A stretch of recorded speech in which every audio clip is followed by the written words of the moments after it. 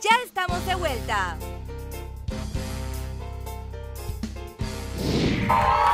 ¡Oh! ¡Tremenda barra!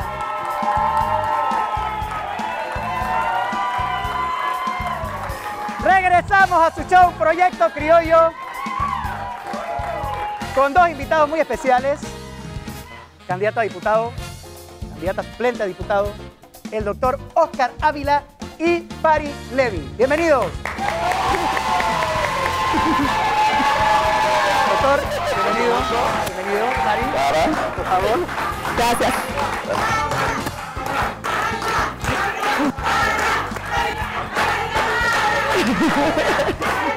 Ahí está tu barra, dice.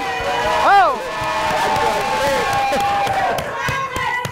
Con esa barra ya usted se siente diputado, doctor. Estamos a un punto, Ah. a un paso de llegar Ahí la ya tiene que ir pidiendo el- la plaquita con el nombre así en, el, ¿Cómo en la no? cruz, ¿no? Y el saco blanco y todo.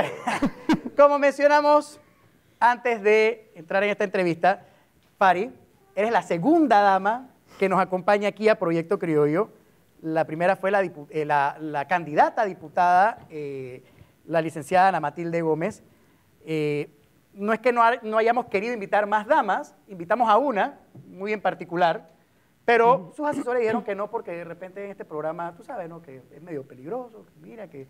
Atacan aquí, asaltan a uno, lo roban para no, cuidar nada de cartera. eso, yo ¿No? yo no entiendo Ok. todavía. Aquí hay gente que le ha cogido miedo a esta vaina. Pero hay delincuentes aquí, me Nada. Yo soy un tipo sano, buena gente. Es que me quiero saber, porque pa, tú sabes. Pero bueno, de todas maneras, gracias sobre todo porque son miembros de Cambio Democrático. Y se los digo porque mucha gente piensa que nosotros somos un programa de oposición. Yo sencillamente las oportunidades no han sido muchas y de verdad les agradezco que hayan venido acá. Y la idea es que pasemos un buen tiempo junto con su gente y hablemos un poquito acerca de su campaña, lo que piensa acerca de la política actual y todo el acontecer nacional, lo del tema del debate, lo del tema, todo esto vamos a hablarlos ahorita. ¿Ok? Doctor Ávila, usted era una reconocida figura del PRD, ¿no? Y decidió, meses antes de las elecciones del 2009, cambiarse a su actual partido, que es Cambio Democrático. ¿Qué lo hizo tomar esa decisión?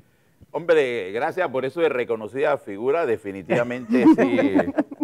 Hice mucho en ese partido. Me postulé en dos ocasiones anteriores. Ujú. Eh, y en esas ocasiones el partido y personas que no eran del partido, pues me apoyaron en las elecciones. Llegamos a ser diputados, pero por cuestiones de arreglos de recámara entre la dirigencia del PRD, no el PRD, porque la gente del PRD votaba por mí, sino la cúpula, la dirigencia, Martín Torrijos, Alemán, Balvin Herrera, y con este señor que ahora quiere ser diputado por el Partido Popular, Rubén Arosemena, hicieron Ah, un también. acuerdo y despojaron no a Oscar Ávila de la diputación, sino que se burlaron de todos los electores de ese entonces, el circuito 88.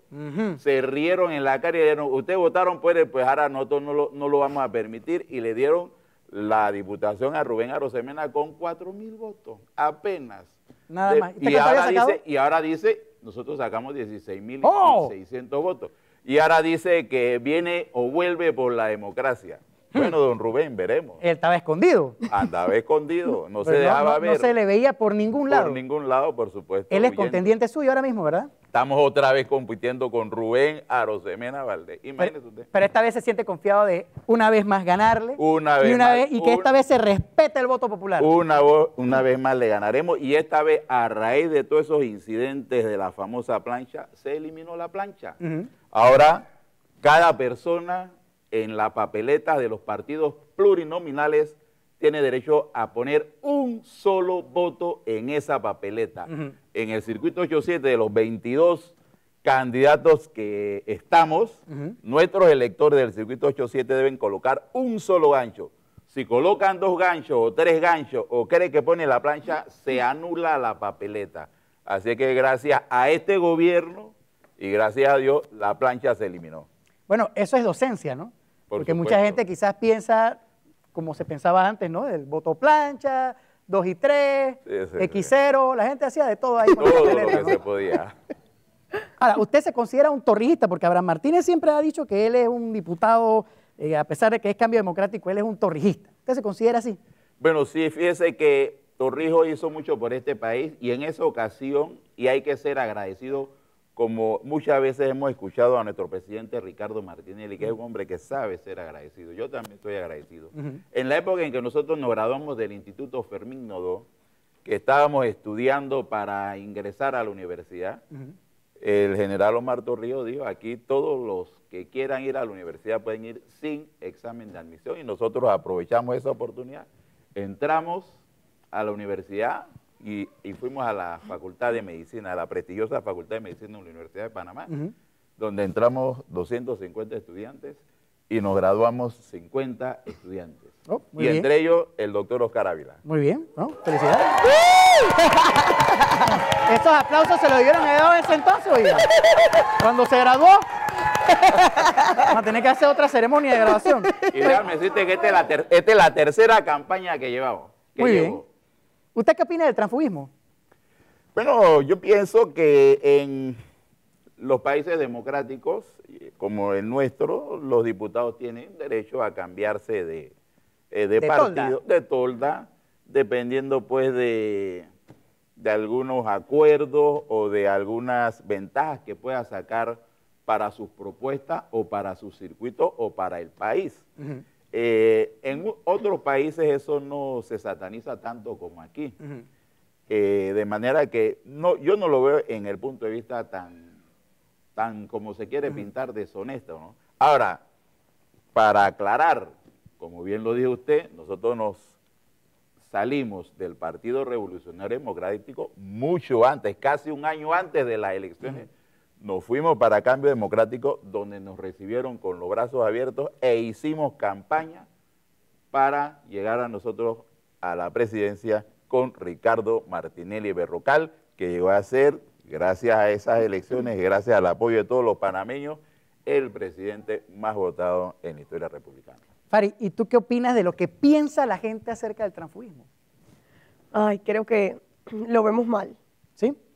Digo, no es lo mismo cuando te, te cambias de partido sin ser diputado, que cuando ya eres diputado. Sí, este no es el caso. que este no es el caso. Entonces la gente se confunde porque dicen, espérate, si yo te elegí siendo CD, ¿cómo es que ahora que mi partido no salió electo, te me cambiaste de tola para la tola de, de- de otro partido?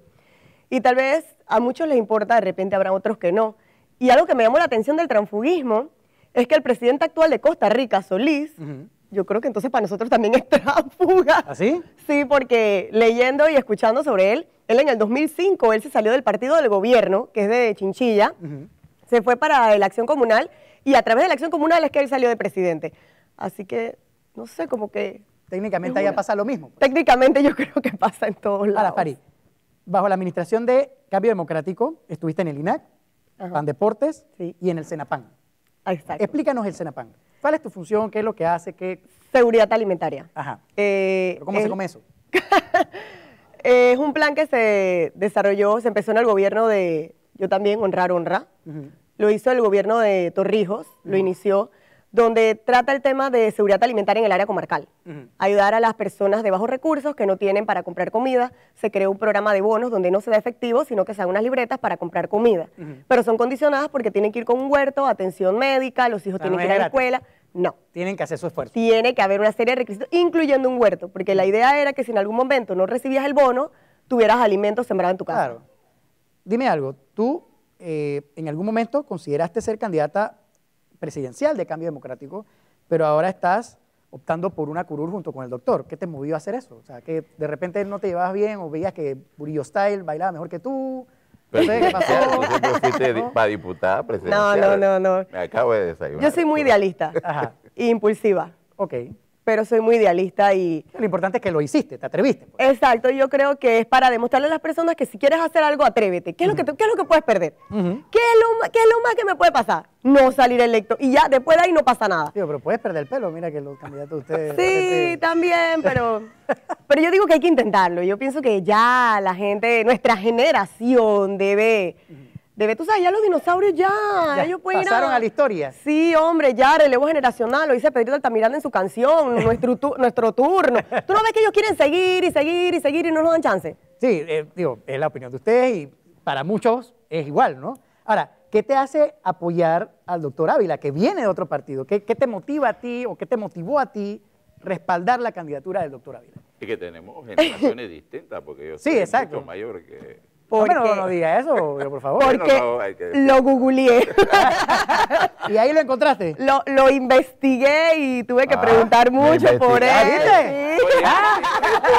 Oye, O sea, sacaste el expediente del doctor Ávila y empezaste a revisar. ahí. Ay, ala. ¿Qué te pasó el expediente, yo Mulino? Cuida una necesitaba cosa. saber a quién yo iba a apoyar. Yo no quería, tú sabes, que yo estoy apoyando a un candidato y después me salen con, con que ese candidato se robó yo no sé qué cosa. Yo, eso a mí no me gusta. O sea, si yo voy a decir vota por alguien, es porque tiene que ser una persona honesta, tiene que ser una persona correcta.